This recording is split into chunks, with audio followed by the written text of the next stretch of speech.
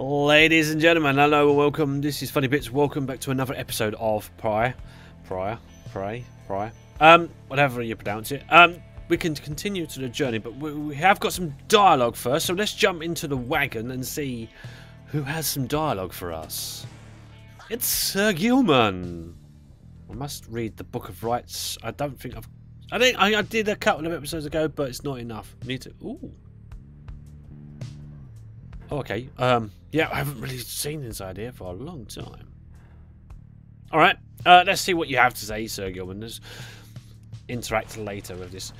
You approach Sir Gilman, who must have just finished practicing his fencing maneuvers. He regards he he regards with hissing eye. How, Mr. Leader? This knight is determined to train harder, having joined the famous Nightwings.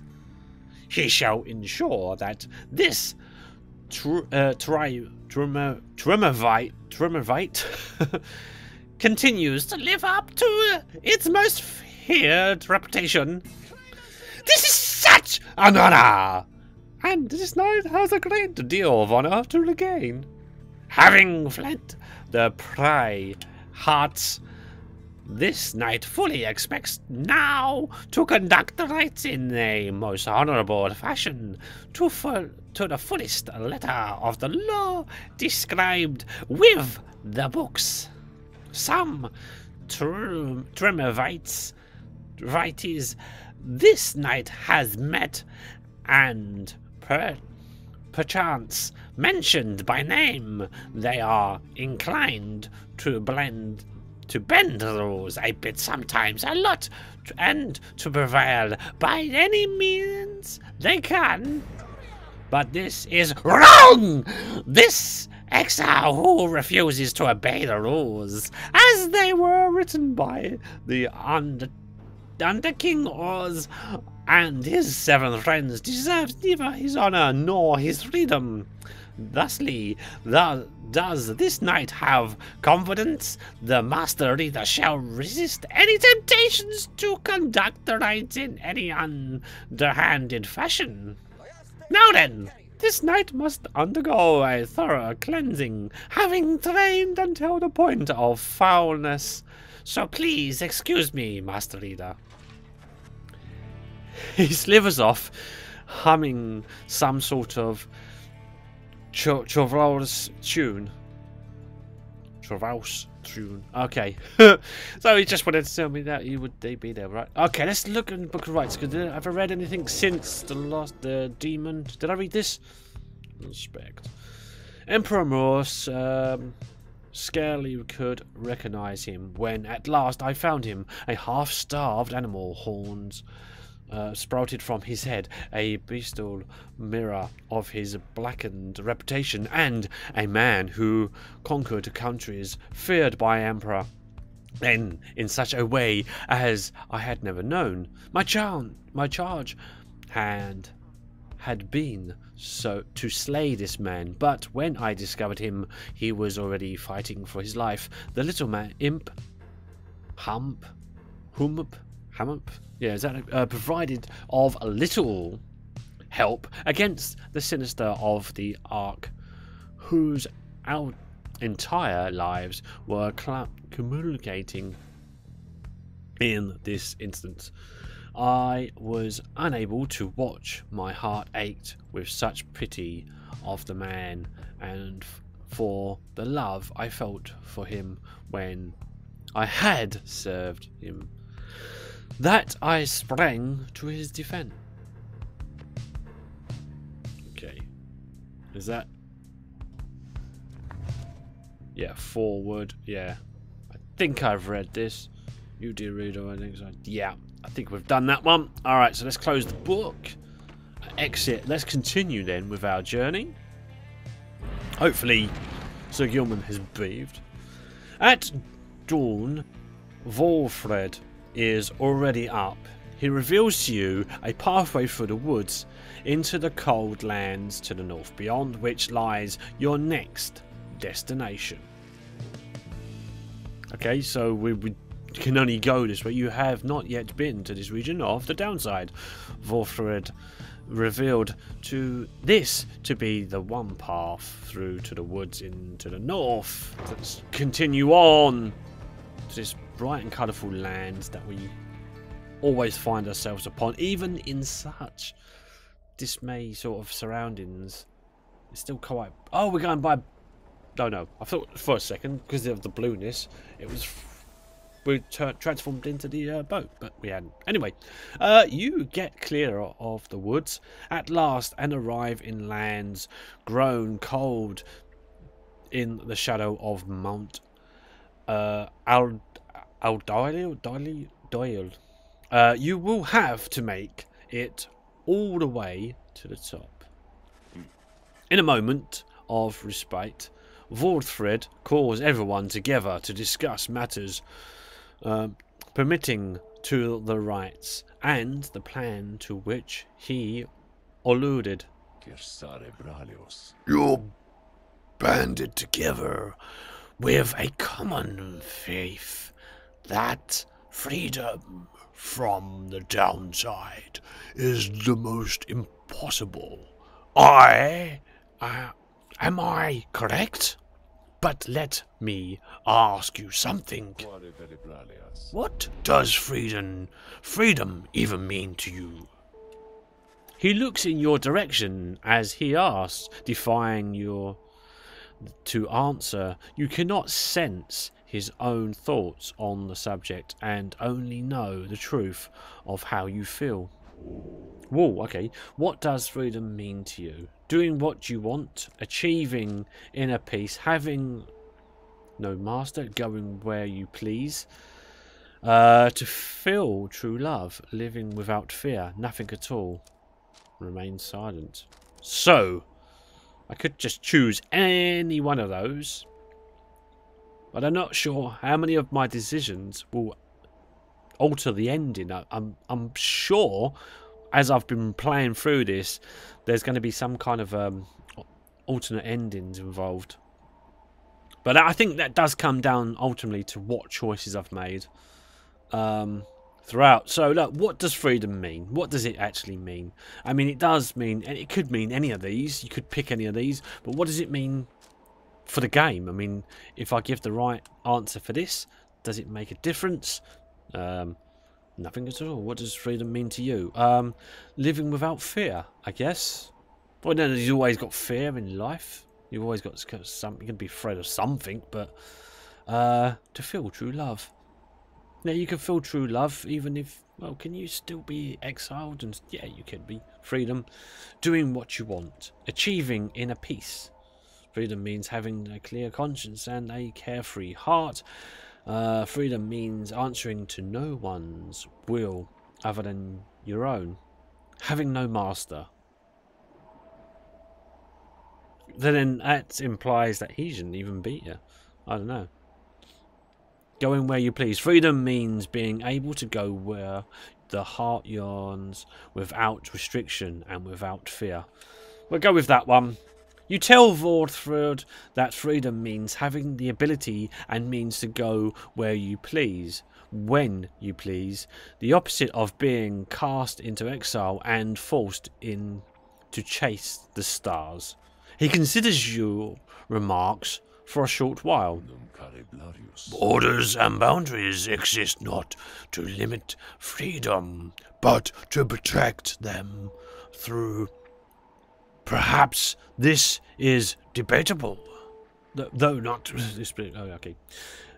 Admittedly, we are not very free here in our exile, where the elements, if not the stars, conspire to prevent us from going where we please. Yet, if we, if following the stars should lead us to an even greater freedom, then I should like to think we are making a worthwhile trade. He, he then turns his attention to the whole group. Now let me tell you all what freedom means to me.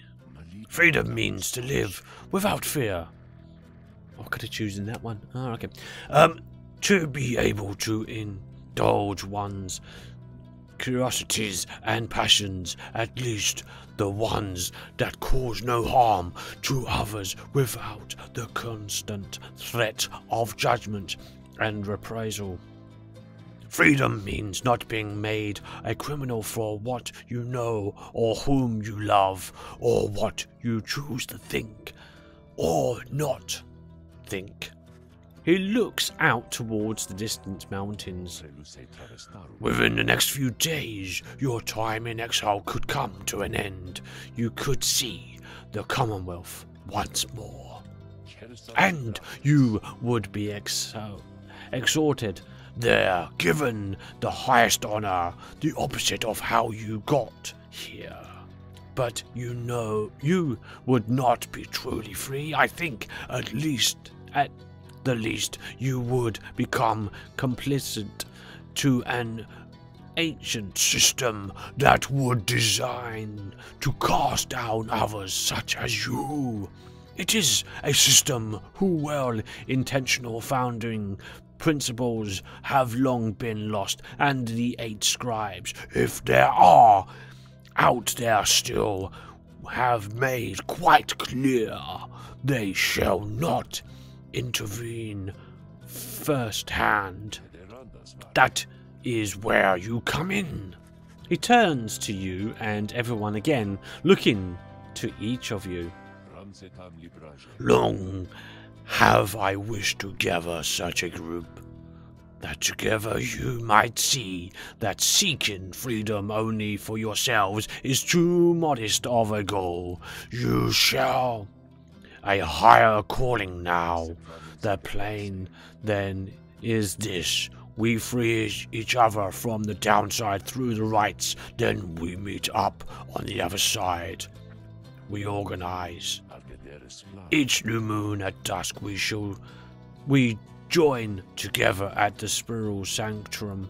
We need as many of us there as possible. My agents on the other side shall explain the rest. You're plotting a revolt. Just so, I'm asking a lot. You do have other options. Dissent, however, is not one of them. The reader and myself, you know by now what we can see through it. But you need to be part of this, nor is it in my interest to concern you. You may go your own way if you wish. Live out your remaining days here like so many others. So if anyone among you prefers this, if you cannot see yourself continuing to strive together in a commonwealth as you are doing here, then speak now. Volfred pauses for a time, examining each member of the group. No one stirs.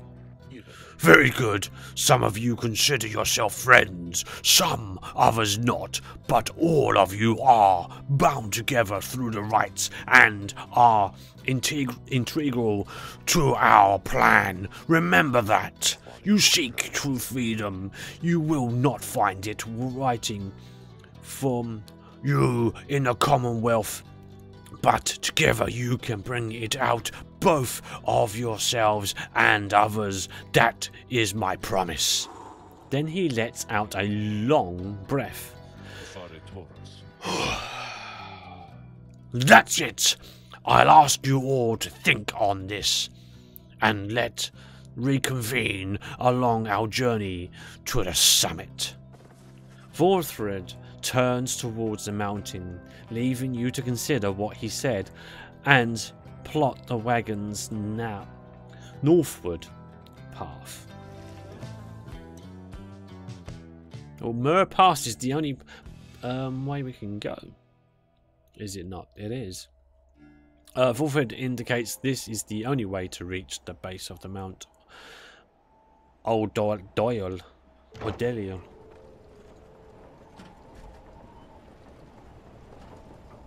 Hmm, I'm just pondering that idea as. okay, um. What if everyone decides to change, you know, change what they want to do? Right. Uh, Beyond lies Mount Idaloy. I suggest we make camp here at the base of the mountain, for we shall need our spirits and our strength to make the ascent. Discuss the plan. Whoa! Okay. Let's go inside the wagon and see what's. Oh, okay. Right, let's see what you have to say, shall we? There you are, my boy. There was something which I wanted to discuss with you in private.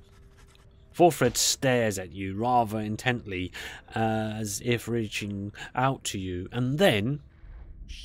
You know, you do know what it means to be a reader. Those such as we, we are not limited to reading pages from a book. Though your ability in this, I sense, is nascent, still Maria's flashes uncontrollable. I see as well now that they haven't told you yet, your friends, and that explains a lot. They haven't told you readers such as you cannot go free. I had wondered why you would insist on pressing onward with the group. In light of this, the answer then is plain. You simply did not know or fully realize. They did not deceive you, by the way.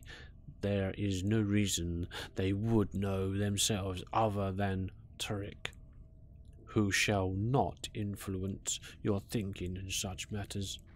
Rather, I had expected, but at first we met, that you already knew the truth of this, having read the pages in the Book of Rites which states it plain. Only those who shall conduct the rites first hand shall walk the path towards enlightenment and become eligible to regain their freedom. Perhaps you have not gotten to the part just yet. True enough, isn't it? I mean, I might not have read that yet. Uh, Volfred breaks free from you and looks at you again. Then he speaks to you as normal. It is plain that you are not in adequate condition to conduct the rites, and this group values you as a reader. I wish only to ensure you understand what you are getting into here, despite whatever hopes and dreams and promises might have been shared. I do not think the rites can help you to return. If that is what you had in mind. So once again, I invite you to depart, and I will see to it that you are compensated. Do not underestimate, do not misunderstand. If it is your wish to remain, then you are welcome. But this journey we are on, it has no guarantees, not for you, not any one of us. Do you understand?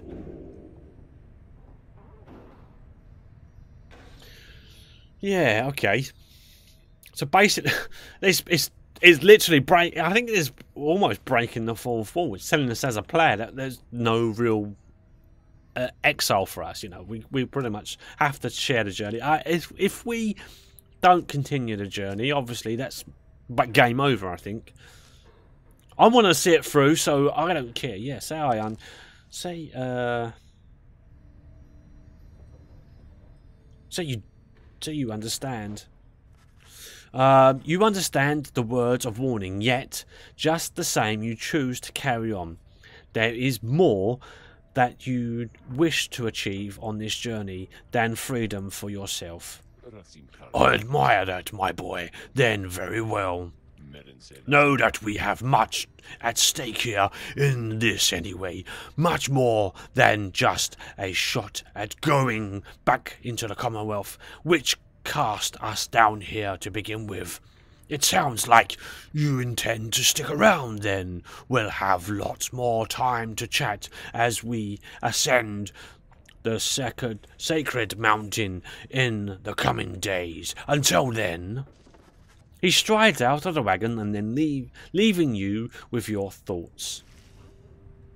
Well, screw you. okay, discuss the plan. I guess we were going to be discussing the plan with the group. Uh, earlier, Voldemort called for a group meeting, presumably to reveal his plan in more detail. Instead, he reveals some bad news. Wait, what are you saying? What am I saying, my boy, is that while you can indeed get yourself out of here, it can, it can't be all of you at once. We earn our way back one by one or not at all. But I thought I swore that we'd go free together. We may go free together yet, but it's going to take time, and this is only the first phase. You, Hedwyn, and the others exchange glances. Let me make this plainer for you still. Here is how the coming days are going to unfold. First, we're going to ascend Mount Ald- Allerdale. There, to the north, you may not think this wagon fit for it, though rest assured it made the journey many times. Next, we'll pass through Scribe's Gate. Only the worst worthy pass through there, as your reader could assist if he did not merely skim that chapter of the book. Afterwards, we'll reach the Fall of Solomon and meet our adversaries in the rites. They are to be the Templars, led by the demon Ignores. Ignores. Uh, you'll know him when you see him. Both you and they shall choose someone from your respective ranks. Then, once one of the Tremorites prevails, there's somebody will be whisked home to the Commonwealth. Whisked home to... whisked home to the Commonwealth? Precisely. Once returned, our somebody is taken in and clothed and fully pardoned. The Commonwealth knows about all this. The same Commonwealth that says a sentence into exile is forever and freedom from the downside is impossible. Many of these details the scribes themselves wished to be kept secret from exile, and the leaders of the Commonwealth alike have good in incentive to protect those secret secrets well. So then, that's it. We'll climb the mountain, someone goes back, and everyone else stays? For most of those participating in the rites, yes, that's it but I like your con condition condition. And indeed for us that isn't it all at all. If one of us returns it shall be just a step along our path. However let's let that sit for now. Gather your strength. We'll talk again on our way up Volfred leaves the rest of you to consider what he said. You have time for your vocations at dawn. You shall begin your ascent of Mount Odalil. However you bloody pronounce it. Oh crap. Um, well, so forge for resources, study in private, mentor or companion. Well, I've always forged for resources. I've never studied and I've never tried to mentor a companion. I may have done once, but uh, anyway, I think the journey is still quite a long way off. And it sounds like we have to choose who we want to set three. I think it does. I think it does come down to that. Possibly. I guess we'll only find out um, as we continue on our journey in the next episode because I've run out of time in this one. So I'm going to choose something at the start of the next episode and hopefully you can join me then. If you uh, liked it, hit the like button. If you dislike it, hit the dislike button. And um, if you have any comments or suggestions, and leave them, feel free to leave them in the comment section down below. Don't forget to check the uh, descript, um, description down below, also for links to the game and websites. I've left them down there, so if you are interested in this game uh, by this point, hopefully you are um, watching it and you want to find out, it is available, of course, on most formats. Um, but yeah, there's a link down in the description down below. Uh, that's it. That's all we've got time for. As always, whatever you do, keep it fun. Until next time, thanks for watching. Bye for now. Bye bye.